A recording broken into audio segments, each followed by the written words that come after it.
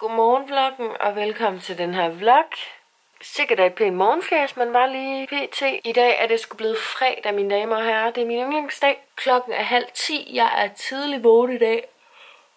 I hvert fald tidligt for mig, fordi Sille har sovet her, men hun er gået tidligt, fordi hun skulle på work. Derfor er jeg også vågen nu, og så skal jeg op og spise morgenmad med Chris. Vi skal have æg, fordi hun kom gående med 30 æg i går, tror jeg det var. Og det var æg. Og så her ved 12-tiden kommer min mor, hende har jeg ikke set i noget tid. Kommer bare lige forbi et lille smut for at sige hej og hyggeligt. Jeg har fået en bums her, hvis I ikke havde bemærket det.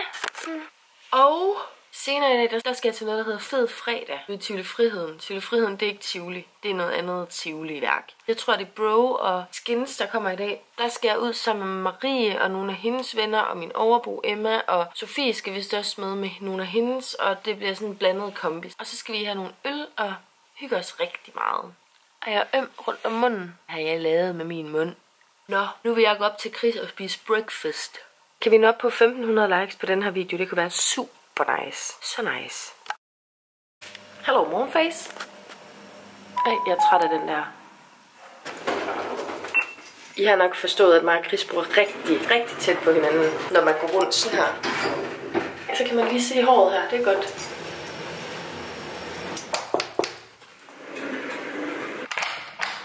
Hola chica, så er der æg. Hvad Christina slår Hvor er du lige vågnet? Prøv at se mig.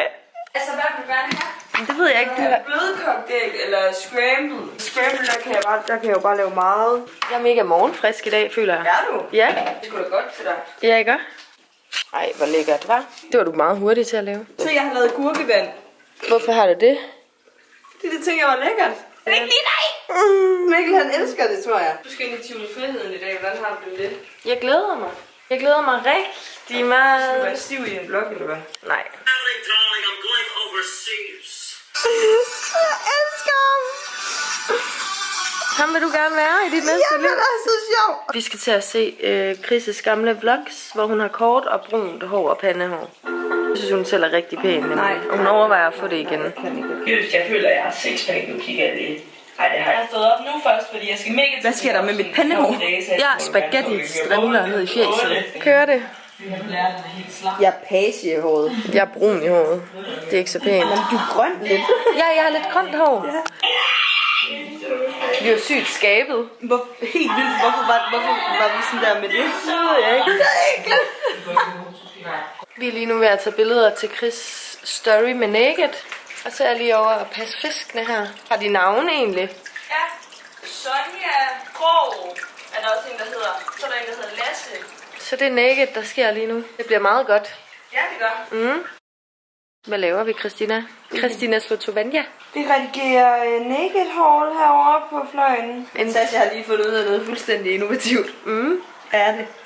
Det er, at vores børn bliver grandfædre og kusiner. Ja, Det er meget sjovt. det er fandme sjovt. Det, Det har jeg det grinerne over. Ja, det har jeg faktisk også. Det glæder jeg mig til, når vi får børn engang. Jeg får dem først. Ja, det gør du.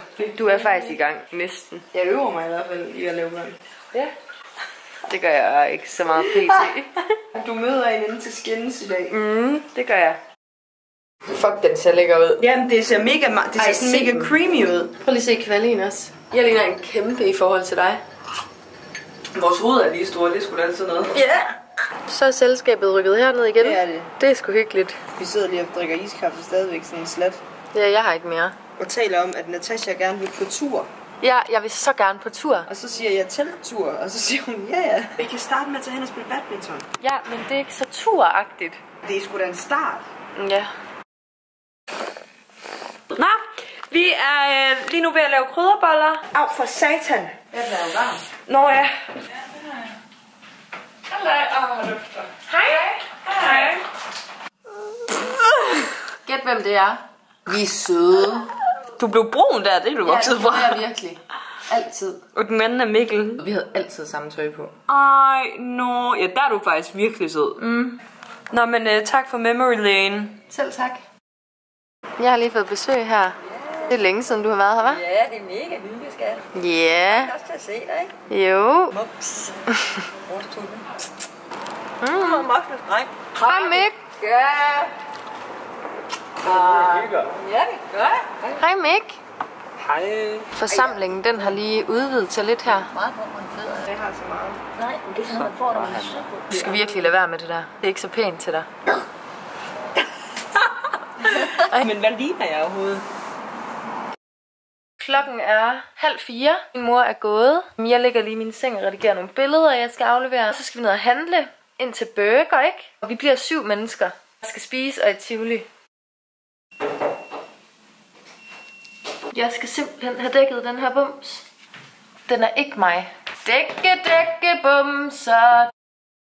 Så holdet samlet. Er du rødvin i dag? Vi er åbenbart Rasmus Sebak-agtige her i hytten lige nu. Vi skal til at Netto og handle ind til burger og vin, fordi vi skal i, som sagt i Tivoli og høre skilles. Emma skal score dem begge. Ja. Score læberne. Ja, ja. Flotte læber til. Mm. Man tager jagt på i netteren. Nej. Marie har fundet en yogamåtte i storskrald, som hun overvejer at tage nu. Så tag den dog. Jeg lægger den der Så, så, så, så afspritter vi den. Mangler vi? Jamen, så kan vi købe en af sådan noget. Med, så der er nogen, der kan spise Ja. lidt ekstra pommes. Det kan vi godt. Det er nemt. Okay, og så skal vi... Så er der også ciderfest i dag.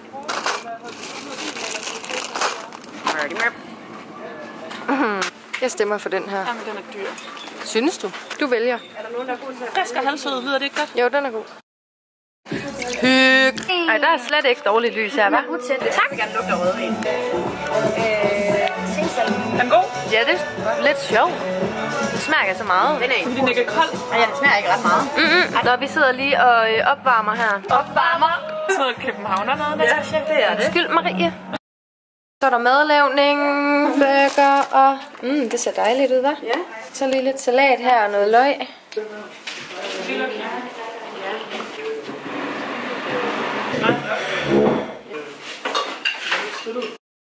Vi har rykket bordet ud. Nej, vi bliver otte. Fred kommer også. Der er gang i hoderne også. Kan I høre, hvad jeg siger? For der er faktisk meget larm i mine ører, så jeg smutter bare. Hallo, har vi Se min burger. øl eller hvad? Hvis, jeg tror, de Vi fik lige fucking stress på, fordi vi kom for sent ud af døren. Bussen går om 6 minutter, og det tager 11 år at gå derned. Forsamlingen går der, og nogen går der, og vi har pænt meget travlt. Så er man i Tivoli!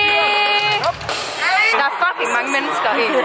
Faktisk er der. Ja. Vi venter på Sofie og øh, Victor, fordi de er her ikke endnu.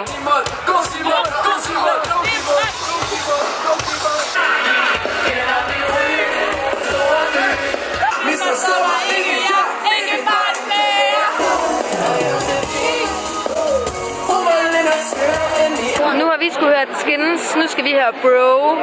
Hej, bro. Din største fan, bro. Så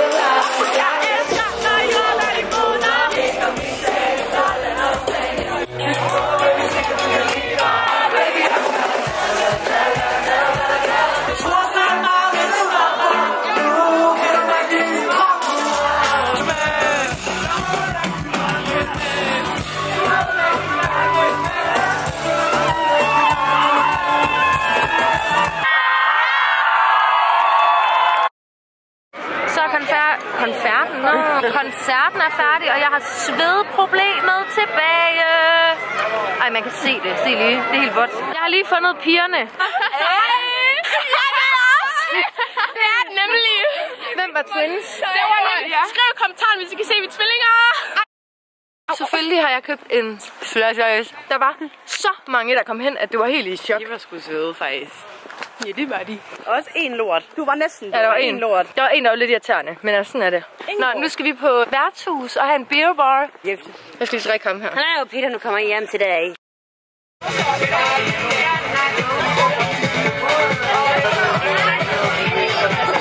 Vi er lige på øh, Søren Bro. Det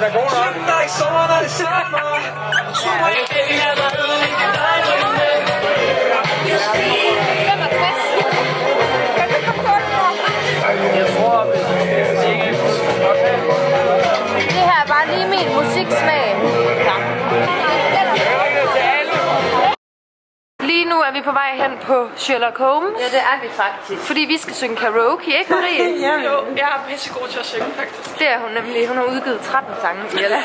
Og det vidste de bare ikke. Den ene hedder I'm Gonna Pee in My Pants. Og jeg har udgivet 14.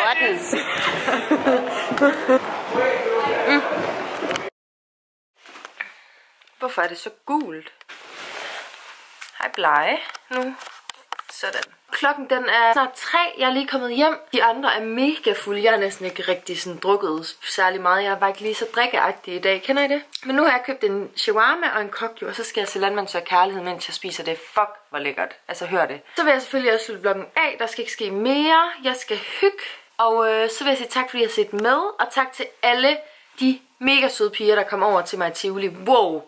Jeg har aldrig oplevet noget lignende. Der var så mange. Det var så hygg. Og så hyggeligt at se, hvordan I også ser ud. Det lyder mærkeligt. Men I ved, hvad jeg mener. Husk at smide et like på videoen, hvis du kunne lide den. Og ellers så ses vi bare i min næste video.